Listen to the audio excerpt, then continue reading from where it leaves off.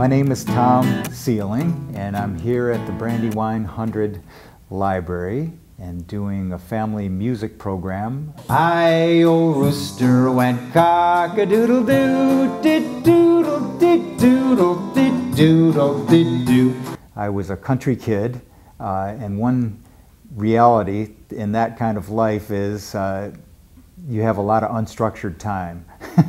so uh, I got my cousin's guitar and started sitting by the record player and uh, learning old Simon and Garfunkel tunes and James Taylor tunes and uh, taught myself how to play. All right, get ready with those grizzly bear claws. Here we go.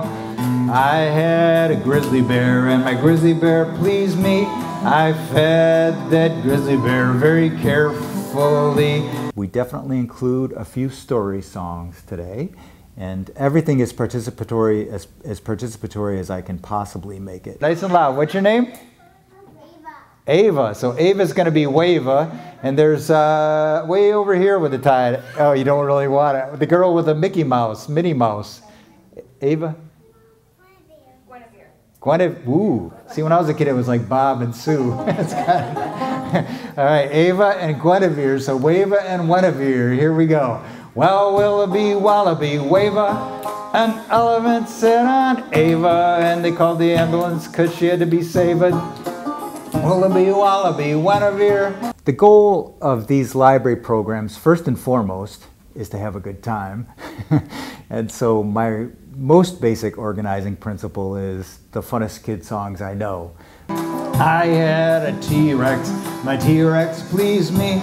It keeps the library fun and interesting and uh, expansive. Um, I, because I'm self-taught, an awful lot of the material that I got and recordings that I got and also just instruction books uh, about how to play the guitar, how to play the banjo, how to play the harmonica were from the library.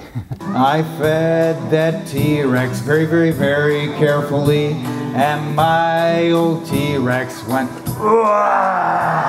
always hope that uh, it's part of a interesting them in music. Um, I really hope that some kids, particularly young ones, uh, will decide that this is something that they want as part of their life. My old coyote went